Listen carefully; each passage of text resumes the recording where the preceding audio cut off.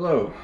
Today, onto my 2012 335 IS, I shall be bestowing the Fuel-It FI 650 HP low pressure fuel pump upgrade. The uh, fuel pump, which I did an overview video on, should be posted.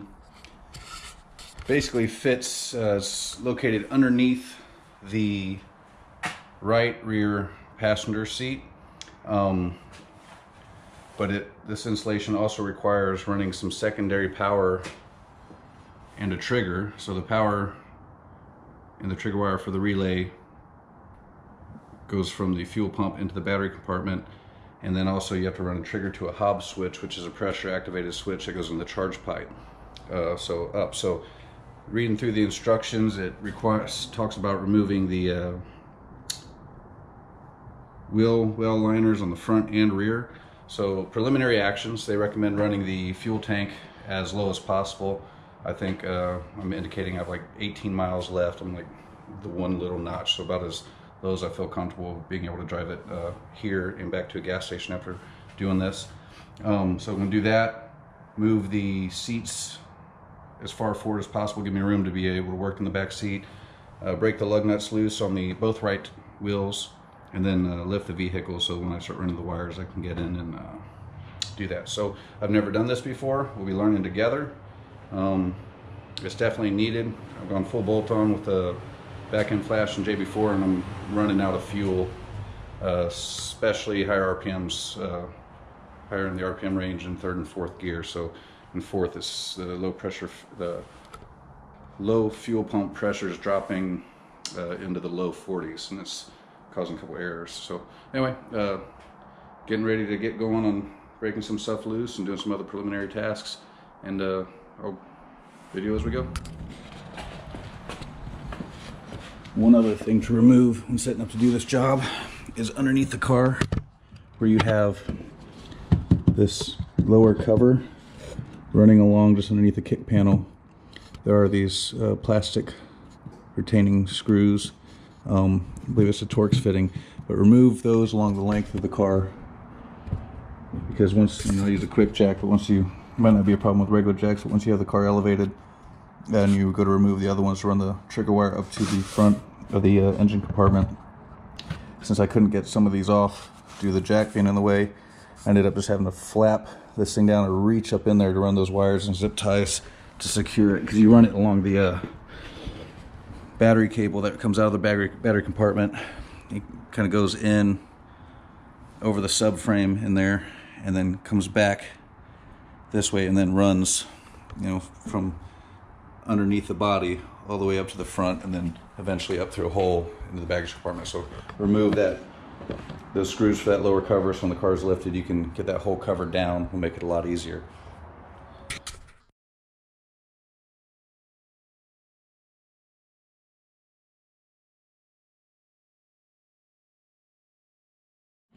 Okay, so we have the uh, car lifted, loosened up the lug nuts on the right side wheels for later when we run the power wires. Seats all the way forward.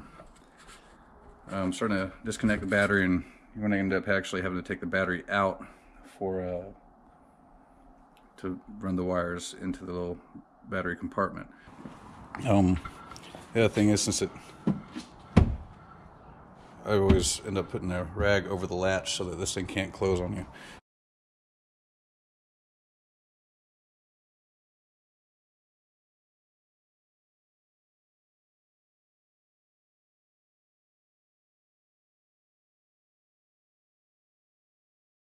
So the back seats basically just have some clips on the front.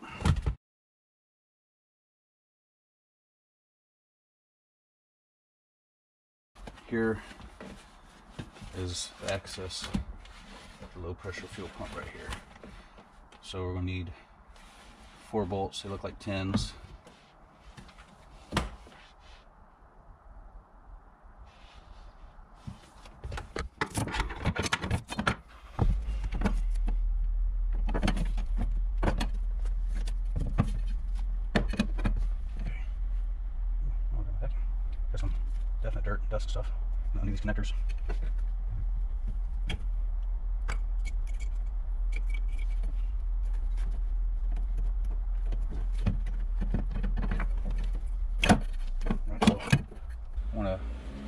Vacuum this out.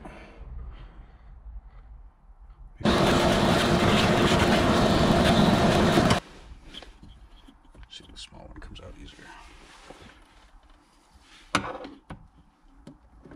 Okay, just need to get in there a little deeper.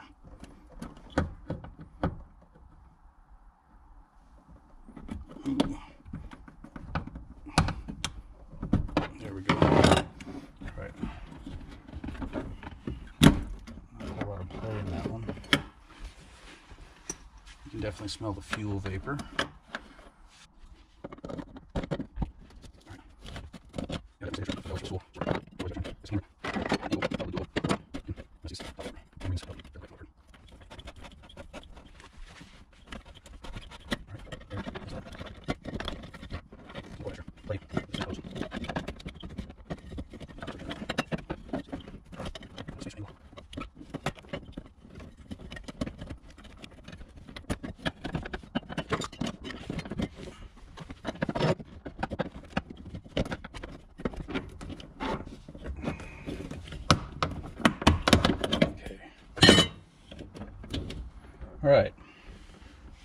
So, with that being done, top hat should slide. Uh, I'll wipe my hands a little bit.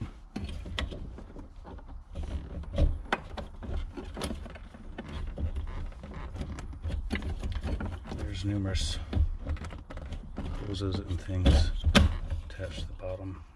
I can already see fuel. So even with as low as I ran it, the bucket's definitely sitting in gas.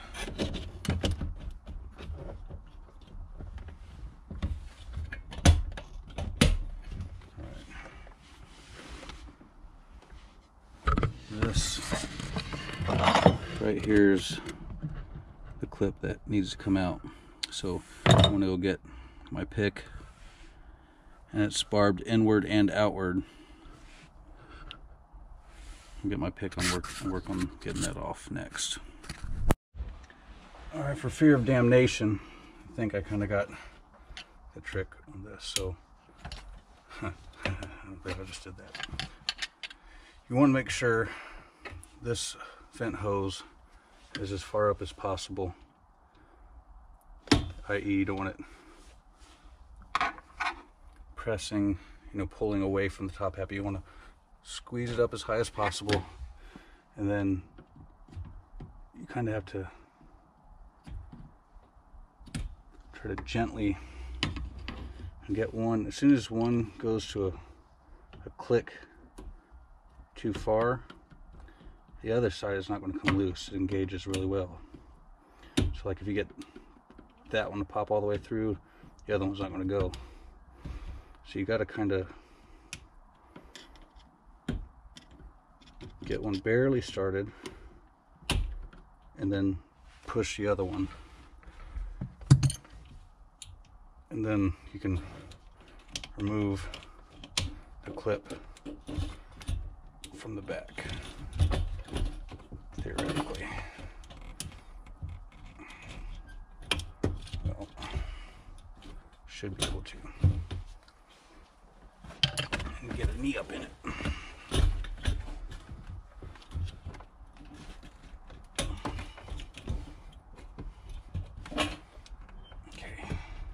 Well, there we go. So, it's because it has these barbs on both side, outside and inside. So that's that. That over on the gas smelling bag. Remove the vent hose top hat starts to slide up. Release these clips, push in.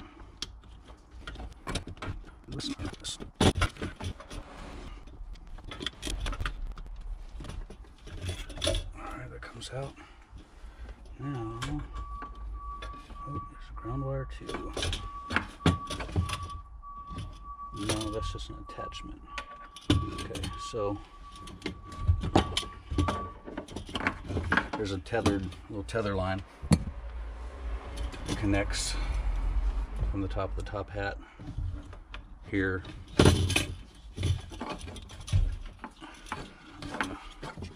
pull that off because I just want to remove the top hat for now. Oh, that's really in there. Well, we'll go ahead and just remove the pump assembly, shall we? Got a piece of plastic here to set fuely type stuff on.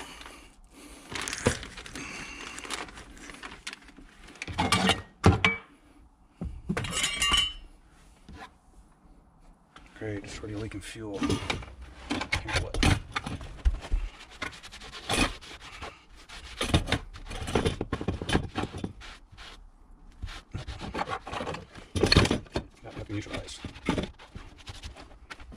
Okay, so got the uh,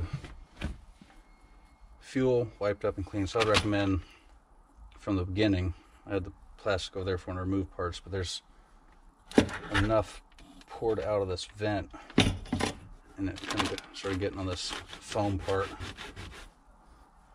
Hopefully my uh,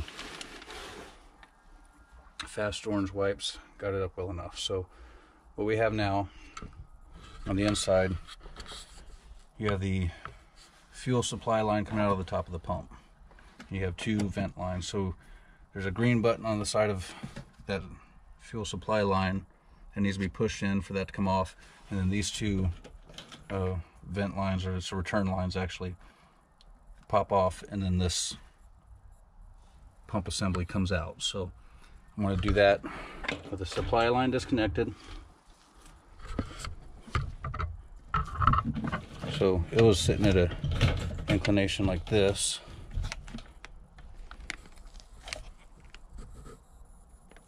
I rotated it this way. Use a screwdriver between the housing and the button. Twisted with one hand to push a button and pulled up with the other. That came out. So now just have these little return lines disconnected. We should be ready to lift this bad boy out the way. Now you gotta rotate it about the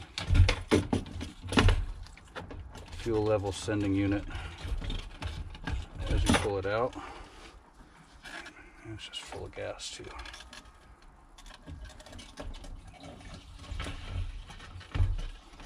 So I'm dumping the gas into the tank. Okay. With that being done, lifting, and there it is. Putting on the plastic, and the stock low pressure fuel pump is out.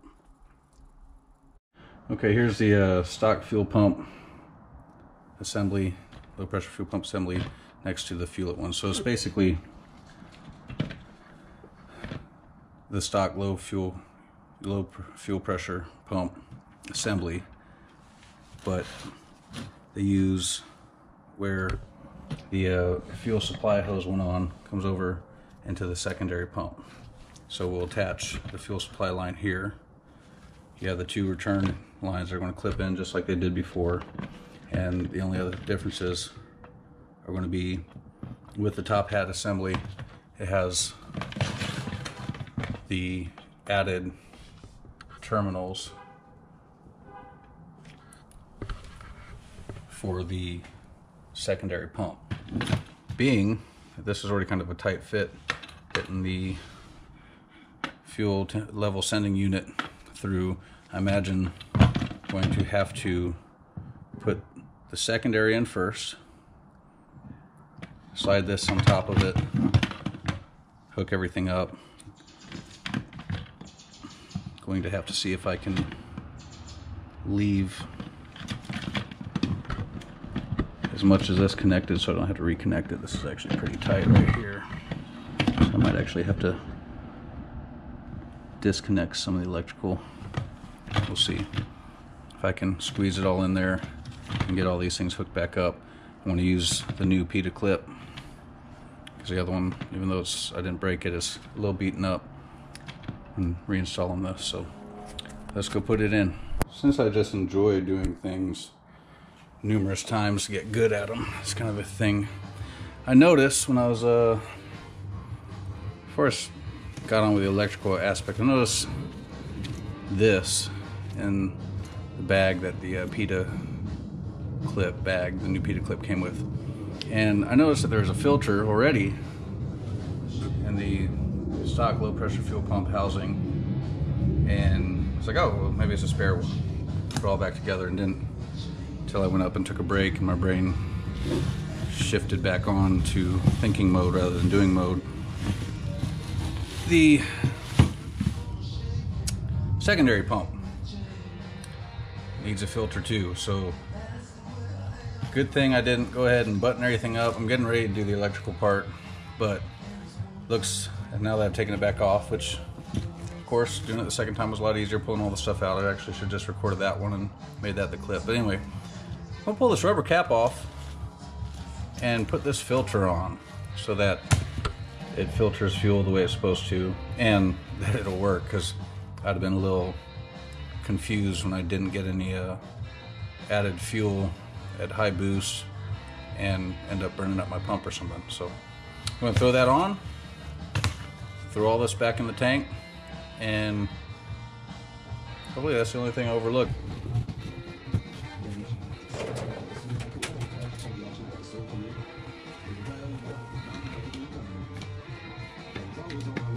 Oh yeah.